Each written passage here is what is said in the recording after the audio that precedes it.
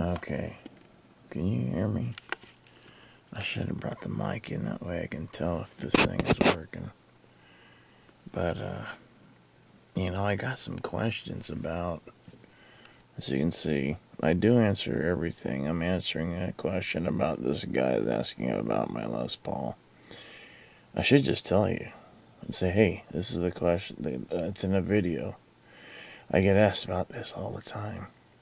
When I bought two Les Pauls, uh, they were both, you know, white, like Randy's. I have no picture anywhere that I can show you, but you know, the kind like Randy had. Go to the side here, see if I can see all of these. See, when I look at YouTube, all I see is a bunch of pictures of my videos with a couple of Kiss ones. And, you know, Epiphone and all that crap. That's Phil McKnight, though. I, I watch all his stuff. He's very interesting. There. So, Randy's 74 white custom. So I went in, see here's guitars 5150. Could be a setup, I don't know. Wow, nice RR Les Paul. How much that cost you? Such a small, simple question, but not a small, simple answer.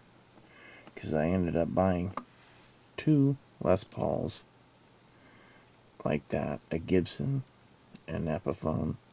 The Epiphone was superior. I had all the Gibson, the pickups from the Gibson taken out, put in the Epiphone. The Epiphone cleaned up, looked nice. I play that all the time. I put a Gibson sticker on it, so it's my Randy Rhoads Les Paul relic or replica because it's an Epiphone, but it's a replica of a Gibson, and the Epiphone is a Gibson. And that Epiphone actually said Gibson until I changed the uh, truss because on the truss rod it said by Gibson or Gibson.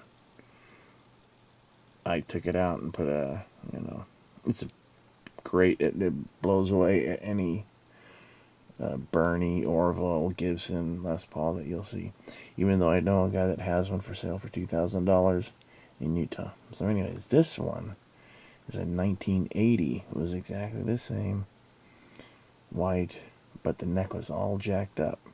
He said this one's going to take a while because I got to redo the whole neck. I go, well, if you got to redo the whole neck, I got an idea. Why don't we do, uh because uh, I saw a guy that had done a star guitar with dots. I said, let's do this in dots.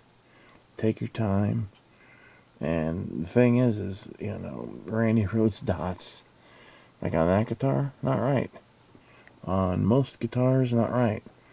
The ones on his Sandoval were three and a quarter inch. Those aren't three and a quarter inch. The ones on the Jackson V, those are an inch. So you, there's these little things, and you're like, why does that look wrong? Right? But to me, that looked right. That's just a little smaller than a three quarter. It's not a half. That's, that'd be way too small. But it looks right on the Les Paul, less small, smaller body. So we have two Seymour Duncans, got all brass, and I got custom knobs, and mainly uh, the one down here for my main volume. And he redid the whole neck, and it's all beautiful now, and it plays nice, and it sounds great.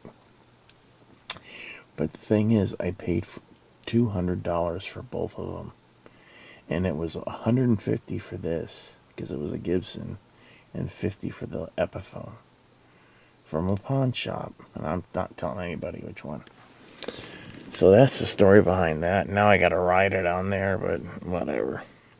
So anyways on another video I did I have just uploaded a video of uh, me after I put, gosh bless, um,